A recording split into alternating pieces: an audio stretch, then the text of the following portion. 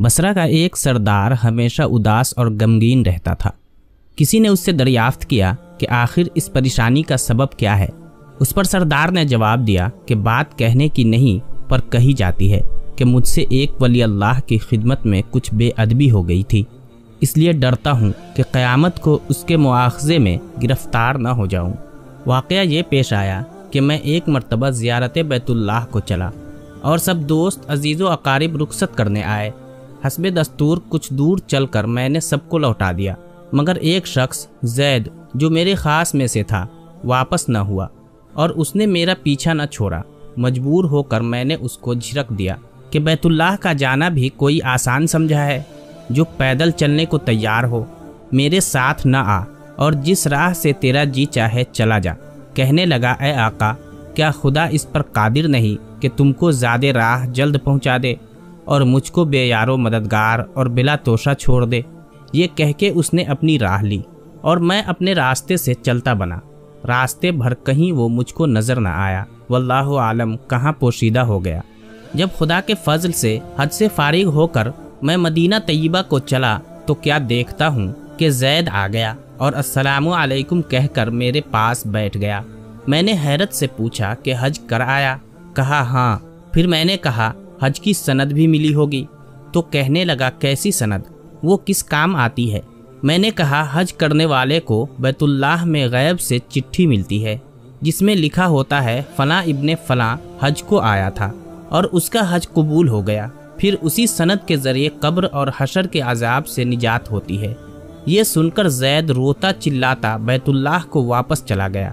जब मैं हुजूर अकदस सल्लल्लाहु अलैहि वसल्लम की ज़ियारत से फारिग होकर लौटा तो क्या देखता हूँ कि जैद फिर आ गया और अस्सलामु अलैकुम के बाद एक चिट्ठी मेरे सामने रख दी, जो एक नहायत उम्दा रेशमी कपड़े में सब्ज खत से जैद के अजाब कब्र और हशर से निजात के लिए लिखी थी। ये देख कर मेरे होश उड़ गए।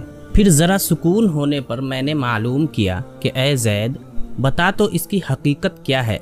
आखिर ये दौलत बेमिसाल तुझको किस तरह मैसर आई?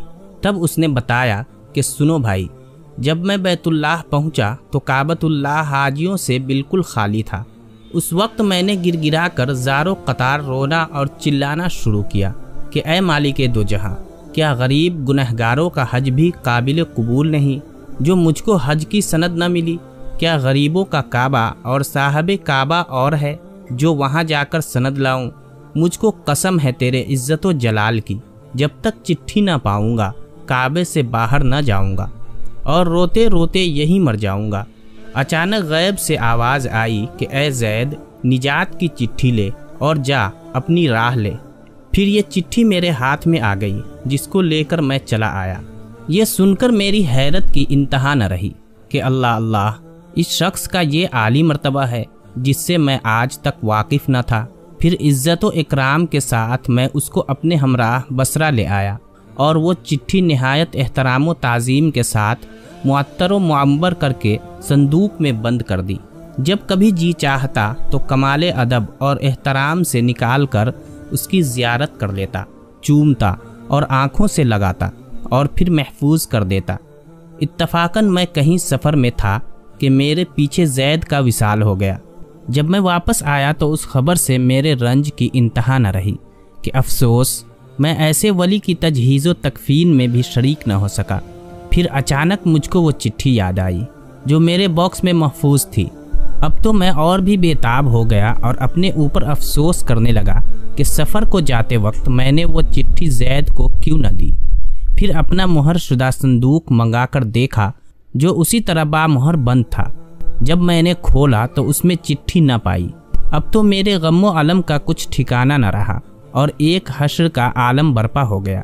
ज़ारो कतार रोने लगा और रोते रोते सो गया कि तरह तरह की सजी हुई जन्नत में जैद सर पर एक ताज रखे हुए जर्क बर्क लिबास में तख्ते जवाहर पर जलवा अफरोज है और उसके चारों तरफ़ हूरों की जमघटे हैं। मैंने करीब जाकर सलाम किया तो उसने कहा, ए आका, इस कदर परेशान क्यों हो? मैंने कहा, मुझे याद नहीं, वो चिट्ठी तूने मुझे दे दी थी। कहने लगा वो तो ये मौजूद है। और इसकी बदौलत ये दौलत व हशमत मुझको हासिल हुई। अब आप कुछ तरद न कीजिए। मैं अपनी मनमानी मुराद को पहुँच गया। सुबहान अल्लाह जो अल्लाह का हो जाता है, अल्लाह ताला उसकी सब मुरादें पूरी कर देता है। दुआ है, अल्लाह ताला हम सबको भी इस वाक़े से सबक हासिल करके इस पर अमल करने की तौफीक अता फरमाए। आमीन। या रब्बल आलमीन।